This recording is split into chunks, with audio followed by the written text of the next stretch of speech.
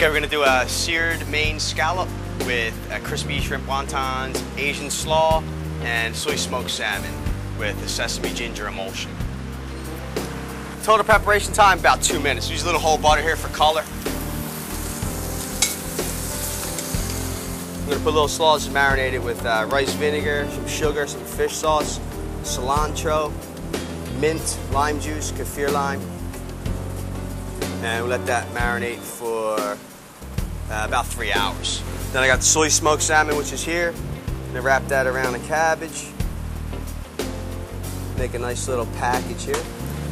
And by that time you do that, the scallop's ready, nice and rare. You wanna drain off the excess oil and any of the juice that happens to come out because you don't want that running on your plate.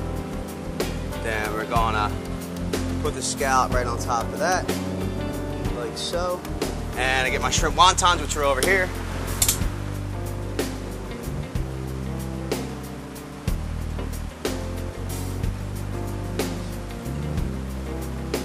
And then we're gonna get a little chive buds, which we have here. And the shrimp wontons are uh, fresh Gulf shrimp from Key West, and they're wrapped in a wonton skin with uh, cilantro leaf. And then they are wok flashed to a medium rare, and then put them on a plate. And it's gonna get my emulsion sauce. And I'm gonna make a little design.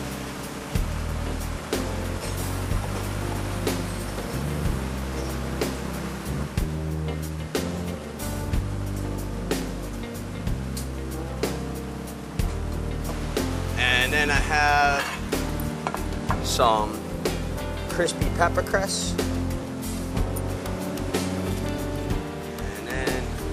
That's the dish.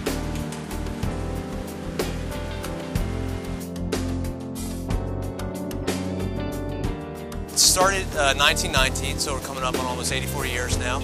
Uh, it started by my grandparents who emigrated from France and Switzerland. Uh, and they started it uh, back as in 1919, and it's been a family-run business ever since. Service, probably the best food in town.